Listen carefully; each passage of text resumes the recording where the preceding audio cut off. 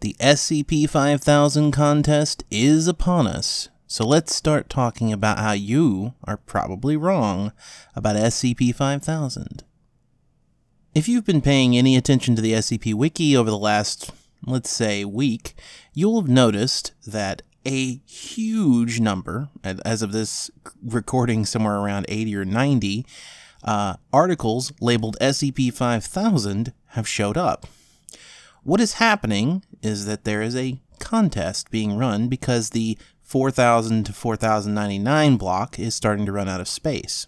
What's going to happen is that these articles are going to be ranked by how high their ratings are, and then they're going to be allowed to choose slots based on where they place in that. So the first place will probably pick SCP 5000, and then second place gets their choice of the next possible option, probably 5001 unless they have some number that's particularly important to them and then so on and so forth. As a side note, if uh, a fifthest SCP doesn't get the 5555 slot, then something is terribly, terribly wrong with the wiki. Also, as of this recording, entry has closed on the contest, so no new entries can be made. And you would not be entirely surprised at how many of the site's established author base have actually posted an article. The one that's in the lead right now is Tanhony's, uh, followed very shortly by Yossipossi, who created the meme that's on the screen right now, and who, by the way, is the guy who puts together my meme list, so, you know. Then there's IHPs, Pasols, Tufto's, Taffeta, Kirby,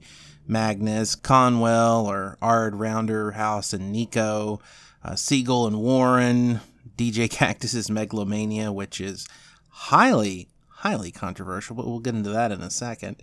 As well as a couple that aren't on this image because they were posted a little bit later. The one that pops into my mind uh, most is probably going to be the one from ShaggyDredlocks, who also, I think he was working with some other people. I know he's, Volgun was in there, Sherm. Not me, because I'm banned from contests, which uh, isn't the purpose of this video. Maybe we'll talk about that one day. But yeah, I'm banned. I'm universally banned from all contests until the end of time, which is great. And I've read, I think, three or four of them. I was trying to read Sacrosanct, which is Yassi's, but I didn't. I got about halfway through it and I got kind of distracted by something else. And I actually consider that in my uh, evaluation of an article as to it, it, does lean me towards a no vote generally but if i am reading something that doesn't keep me engaged and i get distracted and this is a wholly subjective evaluation on my part because sometimes i'm just not very focused on that particular day or time and i, I can't pay attention but it, it leaves a taste in my mouth and i'm like oh it's you know I don't, I don't know. It didn't grab me. I, I was reading Tanhony's, which is the one that's in the lead right now, and it definitely grabbed a hold of me for the entire article. It's quite a long article. There's a lot of long articles in this. There's also some short ones. But in the end, it felt very, very unsatisfying. I think there was some stuff hidden in an image at the end of the article, but I couldn't even be bothered to really look it up myself. It's I tried editing it with a notepad, which is the best way to find out if somebody's hidden text at the end of an image well, it didn't show up, so it must be an external program that was used to do it, which is, by the way, the least efficient way you do that, because then you force someone else to pick up an external program. You can just add it in with it in text. Notepad is is a surprisingly powerful uh, tool for hiding text inside images, but um, I'd say the one that left the biggest impact on me so far has been Megalomania, which is a article about a demon that is, um, let's say, being contained by Donald Trump. let's let's make that very clear here. Um, so it's about a demon. No, is it a demon or a devil? There was a very specific because uh, in this universe, I guess one of them uh, can feed off of chaos or whatever. But um, either way, it's a otherworldly being that is being contained by Donald Trump, which uh, I think I, I, remember reading the article and thinking to myself that it's a lot better than uh, its rating suggests, which is it's only plus twenty or plus thirty or something like that. Which you're like a DJ Cactus SCP that's only plus twenty or thirty, but it, it's because two. It's for two reasons really. There was a downvote brigade as soon as it went out. I assume from a variety of people. Uh, there's a group of people who believe that the SCP Wiki should be serious all the time. Uh, and that is a very wacky SCP. In fact, I would actually argue it is too wacky, but it's not so wacky that I downvoted it. Um, because that's that's my style. I like that kind of stuff. And I'm sure that there's a lot of downvotes on there from people who just don't like the fact that it makes fun of Donald Trump and his family. Which is something you learn to live with. DJ Cactus doesn't give a shit. Uh, I'm actually planning on. I was planning on having him on this episode, but it didn't quite work out with the timing. But I want to have him on for uh, two weeks from now. We're gonna have a little episode, probably called "You're Wrong About DJ Cactus." So stay tuned for that. Assuming nothing goes wrong, which uh, is a huge assumption. So if, if that's not what shows up, don't don't be too surprised. And I have a lot of opinions about how the SCP Wiki has kind of evolved over the years.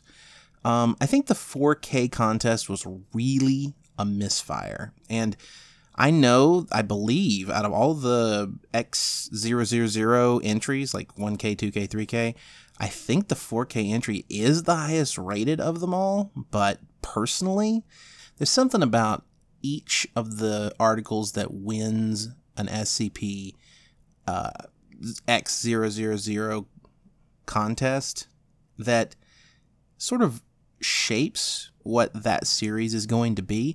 Now, not every article in the series is going to, you know, adhere to some sort of a pre-existing concept of what it's supposed to be, right? So, like the SCP-1000 contest, which ended up with, uh, I think it was Bigfoot, because the concept was urban legends, and that did inform the SCPs that were created in Series 2 from 1000 to 1099. And then you had science fiction for SCP-2000, and that really did help. If you look at SC at Series 3, there's a heavy undercurrent of science fiction in it. More so, now there's science fiction on the wiki before that, but there was more science fiction, I think, in Series 3 than there is in any of the rest of the wiki. Um, maybe, I mean, to be fair, I think that set it up for the next, as, as things continued on, so Series 4, Series uh, 5 are all kind of in the same vein they also include more science fiction than came before, but science fiction's always been pretty strong on the SCP Wiki. But if you look down the list, each of these contests sort of shaped what it was going to be. And then we had the SCP 3000 contest in 2017. And the contest theme was horror, for example. Now, the SCP 5000 contest was themed on mystery. And I've left 4000 out for a reason because 4000 is very, very different. See, the SCP 4000 contest was about history. And as you can imagine, that's not a super. That's sort of a vague writing prompt. Now, you might be like, well, so is science fiction. Yeah, it is. But when you hear science fiction, like, there's so many ways you can take that. History. What does history mean? History of the SCP Foundation. Well, that's nice and everything, but it doesn't inspire, at least in me anyway, it doesn't inspire anything particularly. Uh, what's the word I'm looking for here? Strong. There's no strong emotions I get from it. I don't go, oh, a history. I mean, I love it, and I love history. I'm, I'm a history nerd, but the idea of writing about a history, and I freaking not just am I a history nerd. I wrote an entire alternate history canon called Aces and Eights. It's set in the Old West. So trust me, I I I, I know history. I'm just. And the winning concept was what was it? Um, taboo, which is about fairies. It it just uh, it adheres to the theme of history uh, as slightly as it could possibly do so and still like uh, be eligible. And to be honest with you, I feel like SCP 4000 to 4099 was kind of all over the place, and I think that is a very strong reason for why it was all over the place. So I think, I hope at least, especially looking at the entries so far, like even the ones I don't particularly like, like to Tanhony's, which is probably going to win, um, or Sacrosanct, which I didn't finish and I didn't find it particularly engaging. Um, or I didn't mention that uh, I don't think I like it. I think I'm going to stay as a neutral vote right now, but I'm, I'm, I'm kind of wavering, neutral to negative. But when I look at them, I can definitely see them inspiring many, many more SCP articles, period. And of course, no article is going to be perfect, but I think the idea of using the X000 contests to kind of set up the next series is doing a very good job of driving the wiki's content forward. It's one of the few ways that the uh, SCP staff can actually shape the content on the wiki. And I think, in, I'm, I'm, I'm going to complain about it again, I think in the 4000 contest, they really screwed the pooch on that. What do you think? Do you think that each of the X000 entries, or I should say winners, uh, and contests in general help shape the series that come after that? Or do you think it's just entirely random what people are going to write? Let me know in the comments down below.